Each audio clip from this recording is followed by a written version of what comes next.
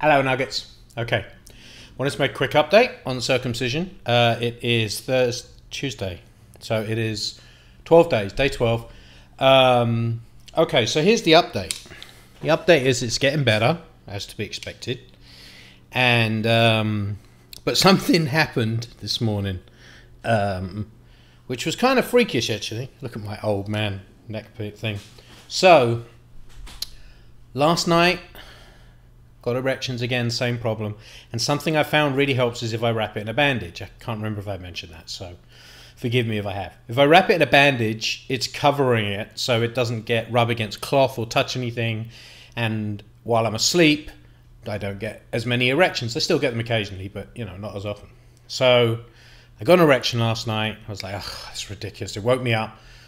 I went to the bathroom, I bandaged it, went back to bed, slept pretty good. I got like five hours last night, which is good for me. Um, this morning, in the shower, uh, before I got in the shower, I took the bandage off. Now, normally I wait till I'm in the shower to take the bandage off so it's wet and it's a little easier to remove. But I'm feeling better. It's not feeling so bad, so I took the shower off. This is where you might want to switch off if you're squeamish. Uh, I took it off too fast. And I, it wasn't fast. Like it's not like I ripped this thing off, but I took it off dry, right? And when I undid the last bit of bandage, I pulled out four stitches. Now they were almost coming out anyway. So it's not like I literally kind of ripped them out of the skin. It didn't feel, it didn't really hurt. It was a little pucker, but not, not, nothing much. The problem is, as soon as I did that, blood. Just blood started dripping, like drip, drip, drip, drip, drip. And uh, like, so I rushed to stand over the toilet. So I'm watching it. I'm like, oh, fuck, what am I going to do? Now, I was bleeding before, actually, right after the operation and uh, the procedure, and it freaked me out. I was like, should it be doing that? I don't know, you know. The very first time I took my bandage off on day two, I was bleeding. I spoke to the doctor. He said, it's fine, just apply pressure. So this time, I applied pressure, and I could do that because although it's still sensitive, it's, it's easier to do. So I applied pressure, and the bleeding stopped, and it's all fine. And then um, I lightly wrapped it in a gauze and some bandage again. I took that off earlier. It's absolutely fine. The blood's clotted. It's not bleeding anymore. But the point is, the stitches are coming out, right? So I lost at least four of them. I've been losing them steadily. It's really weird the way they come out because if, if I'm wearing underpants, like I'm wearing bo- my boxers, uh, I wear them at night sometimes because it just makes it easier. Not normally, but in this circumstance, it makes it easier. It doesn't move around as much. So I'll wake up in the morning with just little knots in my pants, which are the stitches. The knot itself is what falls out. The rest of it that's inside obviously dissolves away. Um, so it's just weird. Sometimes I'll just wake up in the morning and there'll just be a couple of stitches in my pants. You know, or in the shower, a couple of them will fall out. It's just, it's weird. We're almost there. I think there's like four or five stitches left, mostly along the frenulum. Um, uh, and that's where the bleeding was as well. One on the frenulum, one on what they call the corona. um, but yeah, so it's it's doing better. Um, if you're uncircumcised and you're watching this, or you've just got circumcised, um, cleaning is a little unusual. I, I, I assumed it would be simple, right? I would assume like, well, I know how to clean clean myself when I have a circumcised penis, uncircumcised. So when I'm circumcised, surely that will be even easier, right? Well, actually, it's a little bit more difficult because I told you this is getting graphic. They leave a little section of foreskin around the base of the gland, right? It's literally like a collar. It's like a popped collar. so they pop the collar but you have to clean under there, right? I mean, I assume you do. I am. I hope that's what everyone does. I hope people are like, dude, don't touch it. But but cleaning under there is a little unusual. It's like when I was cir- uncircumcised, I didn't really think about that. I just pulled the pulled the foreskin back, washed it out good and tight, put that's it. It was done, right? But now I'm actually kind of going around. I was thinking like, do I need a cotton wool bud? Like, how do I get in here? A Q-tip rather? How do I get in here and do it? So I've figured it out, I think. But I, you also have to be. I'm having to be very gentle because obviously it hasn't fully healed. Um, so there's not much I can do. But um, it was a surprise to me that cleaning is not as straightforward. You don't just put soap on it, just scrub it, and you're done. I, I think you actually have to work on it a little bit more. I would assume that in a perfect world you would do that when you're uncircumcised as well, but you can't because you, you don't see that far down under the gland. So this is the mushroom of the gland. I'm kind of drawing dick pics on it. This is the mushroom of the gland, and there's the shaft, right? So this bit under here. When you're uncircumcised, you just never go under there. You, even if you retract the foreskin, it's like a turtleneck round there. There's nothing you, you can't get under there. But now I can, and so got to clean that as well. Um, so yeah, doing better. The the same thing with the erection said before. Really frustrating. The bandage helps quite a lot. Um, the peeing, no one. Oh, it's okay. I don't think I've mentioned this, and the doctor didn't mention it.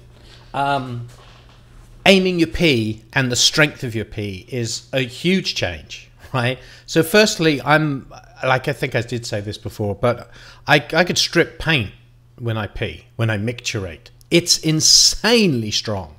In fact, the other day I called my wife in while I was peeing, and I was I had my back against the wall and I was peeing four feet. It was pretty funny. It was worth it. And at that point, the aim was good, so it was all right. I didn't need to worry. So the pee strength is is really strong. There's no way you're peeing in secret. When I go into a public bathroom, I'm sure everyone's going to be looking at me. I don't know if that goes or if that's the way everyone who is circumcised pees. Maybe that's it's like yeah, that's what it's supposed to be. But when you're uncircumcised, it's the flow's a little smoother. It just doesn't work that way, you know.